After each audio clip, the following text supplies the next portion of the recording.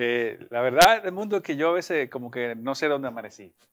Porque, y discúlpeme que me ría de esto, porque yo a veces creo que de, dentro del partido del PRM hay más oposición que de afuera. Bueno, si tú estás hablando de Guido o de Ramón Alburquerque, evidentemente que sí. Sí, pues estos, estos señores, yo no, yo no entiendo que, cómo es el asunto. le, recomendaron, recomendaron a Guido que se buscara otro partido estos días.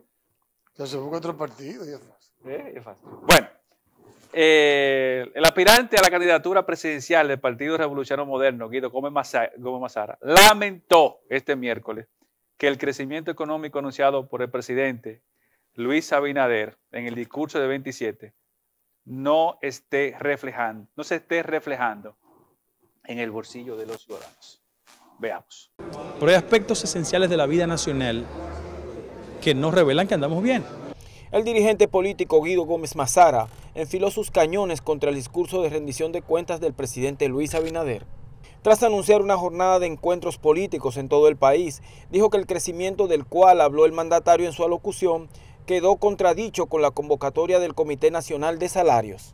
Y yo invito a cualquier funcionario del gobierno o ciudadano que legítimamente esté de acuerdo con las políticas del presidente, que vaya al supermercado, que vaya al colmado, al colmadón, que se suba una guagua, la simple convocatoria del Comité Nacional de Salarios es un reconocimiento del factor inflacionario. Entonces, frente a eso yo quiero decir que el cambio tiene que llegar al estómago y al bolsillo de los sectores de clase media y de pobres. Dijo que con todo no se puede hacer política y consideró que el crecimiento económico ha provocado una profundización de la desigualdad. El último informe en Bloomberg dice que solo dos países tienen mejor salario que la República Dominicana. Superamos solo, solo superamos en la región a Argentina y a Venezuela. Tenemos salario muy bajo, entonces es un drama, eso no es el cambio, por lo menos el cambio de verdad. Mazara dijo que el cambio no debe ser un eslogan y criticó la inversión hecha por el gobierno en publicidad. Lamentablemente, lo quiero decir delante de los medios de comunicación y amigos, mientras hay tantas carencias en el país, 4.700 millones de pesos son dedicados a los bots, a la publicidad y las relaciones públicas. ¿Cuántas farmacias populares se compran con 4.700 millones de pesos. Dos líneas del metro se hacen con 4.700 millones de pesos. El también abogado criticó al presidente Luis Abinader de que no haya mencionado el tema de los dominicanos en el exterior y lo relacionado a las remesas y la estabilidad social. Independientemente de lo que diga Guido, que evidentemente como hablamos al inicio, ojalá, ojalá la oposición hacer una oposición tan férrea como ha seguido Gómez Mazara, como está haciendo Guido Gómez Mazara y como está haciendo Ramón Alburquerque, que además son dos personas con formación y que en consecuencia, cuando conceptualizan sobre un tema, hay que escuchar. No, no, Ramón Alburquerque es un tipo de los más informados. Ahora, este hay una realidad y es que independientemente de los logros macroeconómicos que haya tenido el gobierno, como este es un país que entre la clase pobre, media baja y la indigente representa más o menos el 80, el 85% de la población.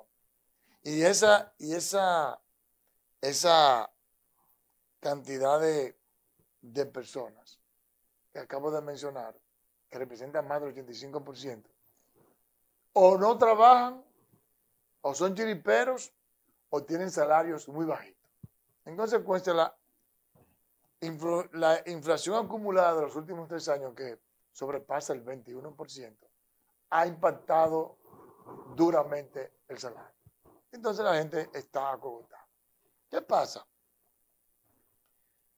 Que no existe ninguna variable en un país que afecte tanto y que impacte tanto la política como es la economía. Porque tiene un impacto transversal, molesta a todo el mundo. Pero, por ejemplo, la clase media alta, la clase alta, que paradójicamente le ha, impactado menos la inflación, tiene recursos suficientes para enfrentar la inflación. Para aguantar la tempestad. A veces ni lo siente, pero para una persona que tiene un salario de 15 mil pesos y una canasta familiar de 25%, la la más bajita, es un camumbazo que se le incremente esa cantidad. ¿Qué pasa?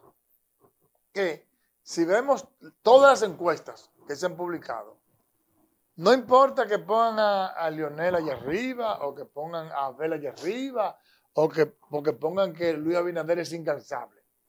Yo no me voy a meter en la parte política. Ahora, cuando se hace el estudio económico, todas coinciden en dos aspectos.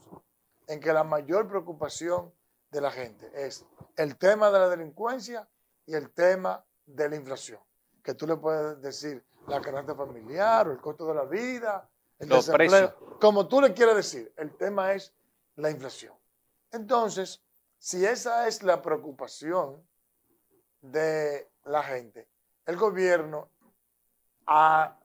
además de tener estabilidad macroeconómica, tiene que hacer algo para que empiece a disminuir o por lo menos a mantenerse estable el precio de la canasta familiar. ¿Y qué pasa?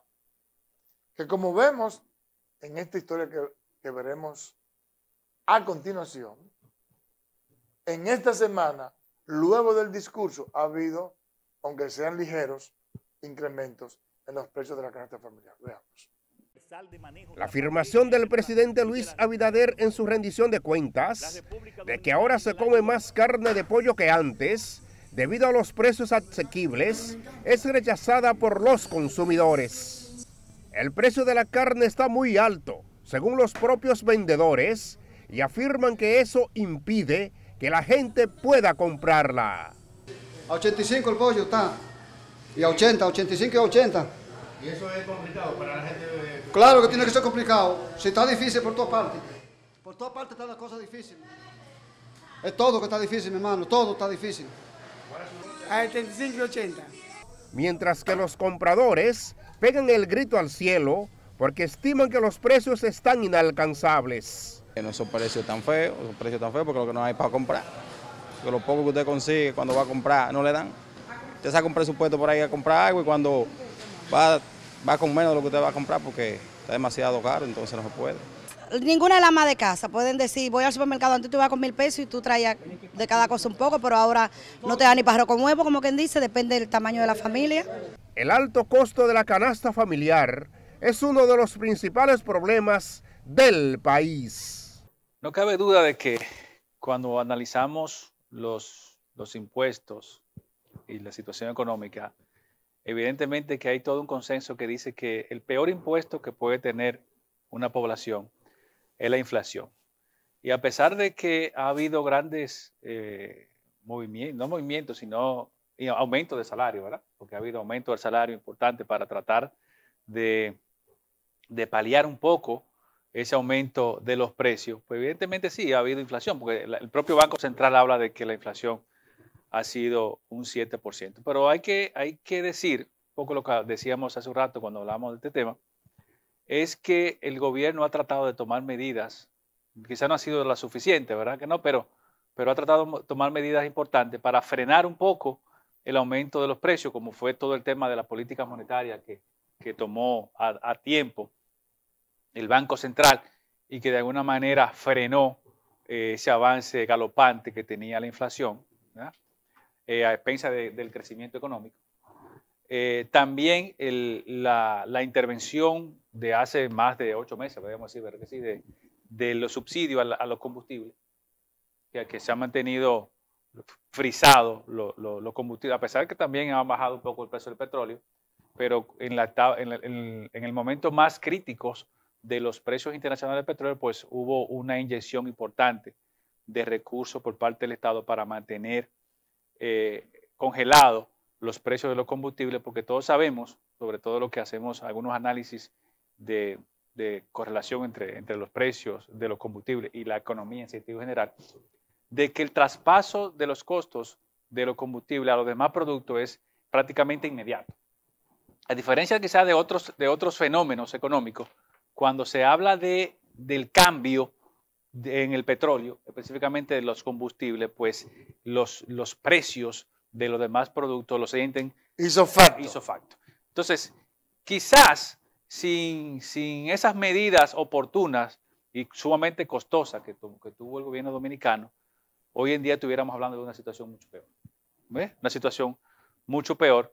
Y eh, yo entendemos todos los esfuerzos que está haciendo el Banco Central, a pesar de que el Banco Central congeló la tasa de política monetaria y liberó unos fondos para, incentivar un poco la producción y el consumo a través de, la construcción, eh, se espera, se, va, se debe esperar que los precios, pues, lamentablemente puedan seguir subiendo. Mira, antes de que tú pases con el próximo reportaje que está pendiente, quiero destacar que en esta semana la JP Morgan, que se reunió con el Banco Central, destacó que precisamente el desempeño que ha tenido la economía dominicana ha sido excelente y que por eso existen las condiciones perfectas en la República Dominicana para que siga fluyendo ahora de manera más agresiva la inversión extranjera directa hacia la República Dominicana. Recordar que la JP Morgan pasó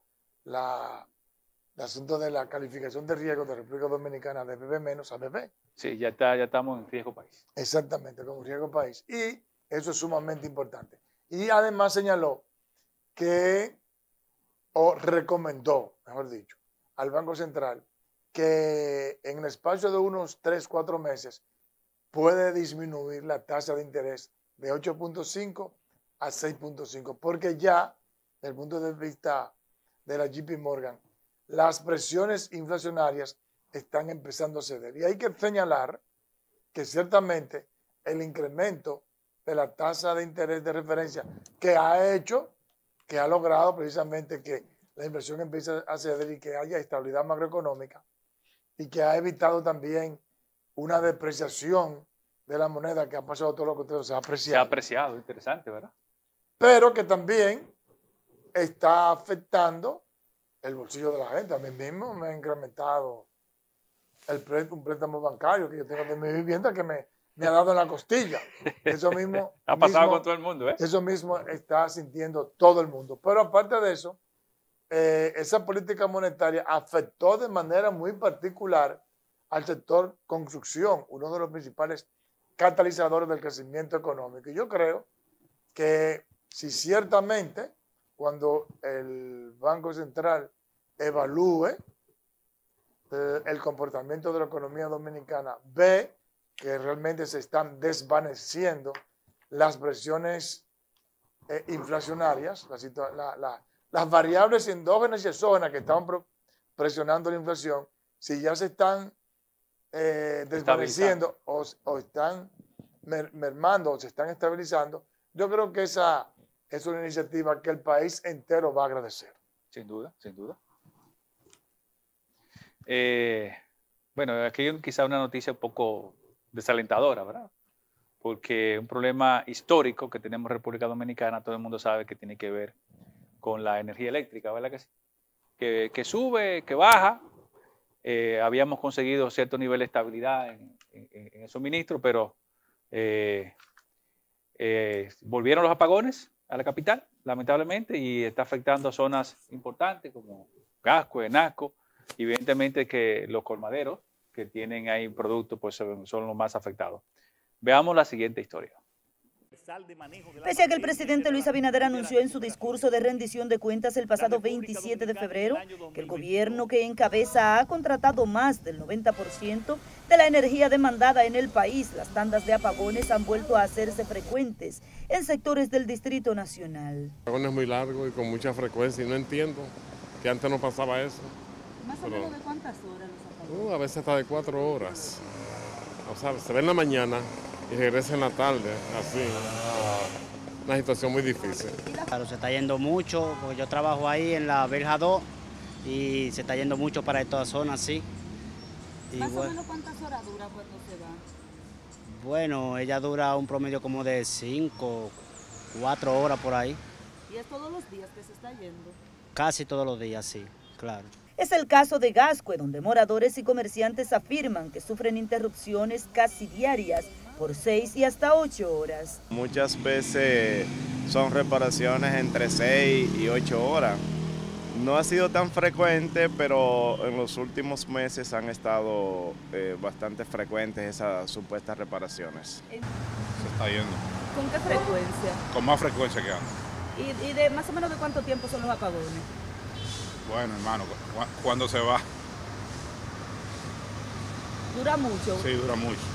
¿Y las, fa- las Ahora, fa- bueno, lo que dicen es que es que hay avería por ahí, pero Los consultados por EN Televisión afirmaron que las explicaciones que reciben de parte de las autoridades es que los apagones se deben a trabajos de rehabilitación en algunas redes. Sin embargo, estos no creen que sea cierto. Además de las pérdidas que les generan los apagones dañando los alimentos que necesitan refrigeración, los vecinos en Gascue deben pagar una elevada tarifa por un servicio que no reciben. El monto no podría decirte directamente porque quien maneja eso es mi esposa, pero sí ayer me comentó que había ocurrido un incremento en la factura ya nuevamente en este año. Los residentes en Gasco sostuvieron que los avances exhibidos por el jefe de Estado en su alocución más reciente parecen estar ejerciendo el efecto contrario en su sector. Vuelvo a referirme a las encuestas. Vuelvo a referirme a las encuestas. Miren, temas económicos. Y voy a numerar unos cuantos de lo que está pre- preocupando a la gente. Costo de la vida, carácter familiar, desempleo, energía eléctrica. Todo eso, todos esos son componentes económicos. Cuando a una empresa se le va la luz, tiene que gastar dinero comprando plantas de combustible. Y además tiene que pagar la luz cara como quiera. Cuando a una familia se le va la luz, tiene que invertir en vela, en lámpara, en inversión, gastar dinero. Entonces, una familia pobre o de clase media baja que se puede dar el lujo de comprar un inversor, que de repente el esposo o la, o la, o la, o la esposa se ha quedado desempleada luego de la pandemia, no ha recuperado, que se le ha incrementado la canasta familiar y que además no tiene energía eléctrica y tiene que gastar en eso. Pero que aparte de eso, el que es chiripero, el que es un trabajador informal, cuando sale a la calle lo atracan. Y que además, como dice una de las encuestas, ahora la policía es otra de las preocupaciones. Entonces, además de que tiene miedo, se encuentra con que si ve un policía también le tiene miedo. Entonces, eso se llama inseguridad. Y la inseguridad es una variable económica, es social y económica. En consecuencia, yo creo que el gobierno, a eso de que de la luz, a eso de el desempleo, a eso de la canasta familiar, a eso de policías sinvergüenzas, a todo eso, el gobierno, aparte del logro que ha tenido en el establecimiento de una macroeconomía estable, de lograr un crecimiento económico, de fortalecer las reservas internacionales y de lograr que sectores como el turismo, que sectores como Zona Franca tengan un desempeño fuera de lo común. Bueno, en este mes, en este mes se llegó casi a un millón de turistas. Un desempeño impresionante. Pero a la gente no le importa nada de eso.